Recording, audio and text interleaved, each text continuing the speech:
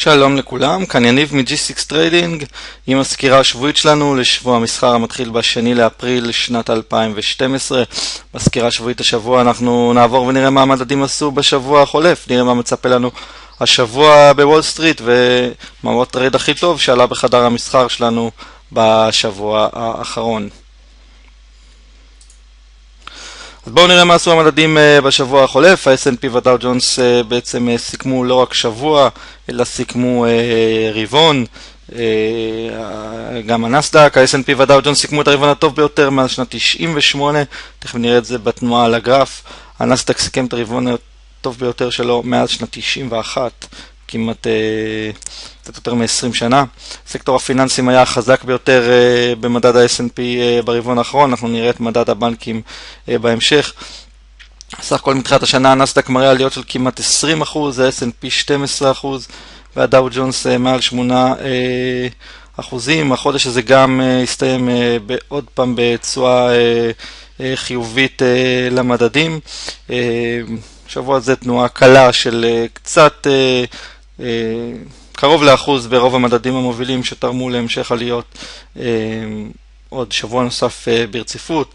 ה VIX אה, ממשיך להיסחר סביב רמת 15 נקודות הנמוכה וסך הכל מתחילת השנה ירד כבר ב-33 אחוזים. אז מה מצפה לנו בשבוע הקרוב? השבוע הקרוב שבוע מסחר מקוצר, ביום שישי סגורה וול סטריט לרגל חופשת יום שישי הטוב, Good Friday, הבנקים פתוחים ולכן הודעות האבטלה כן אה, יפור, יפורסמו ביום שישי, זה אומר שוול סטריט תוכל להגיב להודעת האבטלה שתפורסם ביום שישי רק אה, ביום אה, שני שלאחר מכן, אחרי גם נתחיל לראות עונת הדוחות שאנחנו כל כך מצפים לה כבר שתבוא ואולי תיתן קצת תזוזה יותר טובה בשוק ויותר תנודתיות. סך הכל ביום שני יש לנו את סקר ה-ISM, גם ביום אה, רביעי יש לנו את ה-ADP לפני פתיחת המסחר, שהוא רמז, אה, אה, זאת אומרת זה סקר במגזר הפרטי למשרות שנוספו, והוא רמז טוב מאוד לקראת מה שיהיה לנו ביום שישי שבו לא יהיה מסחר כאמור. יש לנו עוד את ה-ISM אחרי המסחר, אז ככה שיום רביעי צפוי להיות היום המעניין ביותר בשוק, אחר כך אנשים יתחילו ללכת לקראת חופשת ה Easter וחופשת ה Good Friday. ככה שיום חמישי, חצי יום שני צפוי להיות יום די איטי, אז כאמור שבוע מסחר מקוצר בשבוע הקרוב. אוקיי, בואו נראה מה אה, הספאי בגרף השבועי, איך הוא נראה, אחרי הפריצה אה, של כל אזור ההתנגדות אה, של הגבוה של 2011. השוק טיפה נעצר סביב אזור ה-140, אה, האזורים האלה של שנת 2007-2008 שהגדרנו אותם כאזורי התנגדות אה, בינתיים הם משמשים בהחלט כאזור אה, שבאים אליו הרבה מאוד אה, מוכרים. אנחנו יכולים לראות זה יותר טוב בגרף שעה של הספיידר, התעודת סל ה מייצג את מדד ה-S&P 500.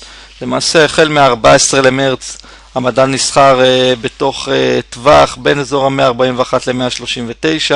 ניסה לפרוץ כלפי מעלה, כאן לנו יום של gap up, בואו נקבע שיא השנתי קרוב ל-142, הגיעו מוכרים, הורידו אותנו השבוע אה, עד החלק האחרון של הטווח, אבל אה, עליות בחלק השני של אה, יום אה, חמישי וביום אה, שישי סגירה באזור הגבוה, באזור ה-141, הביא אותנו שוב פעם לחלק הגבוה של הטווח, ובהחלט המדד נסחר בכל האזור הזה במשך שבועיים, כל השבועיים האחרונים של החודש. ראינו תנועה חזקה מאוד מאזור ה-134.5 עד ה-141, זאת הייתה התנועה החזקה כלפי מעלה החודש.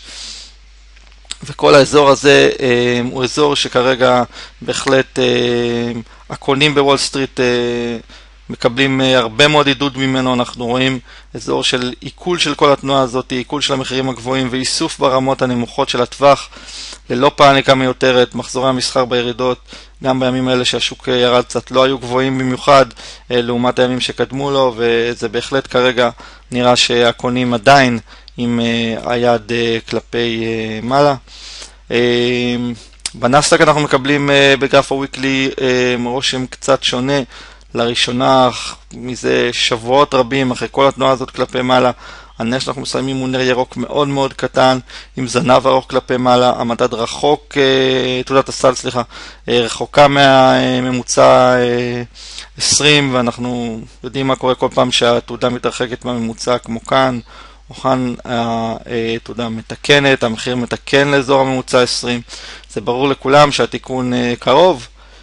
שאלה אם זה יגיע עם עונת הדוחות שתתחיל עוד שבוע אחרי החג, יהיה מעניין להסתכל, זה יכניס קצת תנודתיות, אין ספק, בשוק.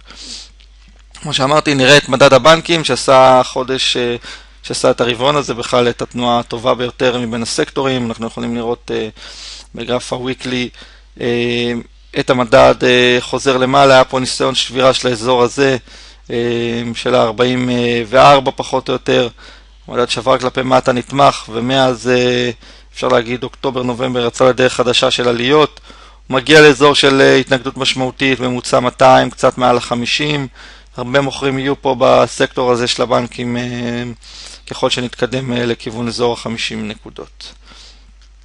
ה trade הטוב ביותר שלקחנו בחדר השבוע היה ביום שישי, setup שנקרא, אנחנו קוראים לו G1, G1, עם ה setup האגרסיבי ביותר שאפשר לקחת בחדר המסחר שלנו, העלה אותו רן בחדר, כניסה מתחת לשבירה של הנר הראשון של שתי דקות, מתחת ל-22.90, מניה שפותחת ב gap down, המשכיות יפיפייה כלפי מטה, פאשל ראשון באזור ה-22.20, שבירה נוספת, המניה עושה pivot באזור ה-22, כאן לאורך כל החצי השני של היום, מאפשרת לקחת כאן עוד רבע כמות באזורים האלה, וסגירה בסוף היום באזור הנמוך. אנחנו עושים שיעור השבוע על התאמה של סטופים, אחרי לקיחה של רווח ואחרי כניסה לטרייד. אתם מוזמנים להירשם בלינק שמופיע למטה מתחת לוידאו הזה.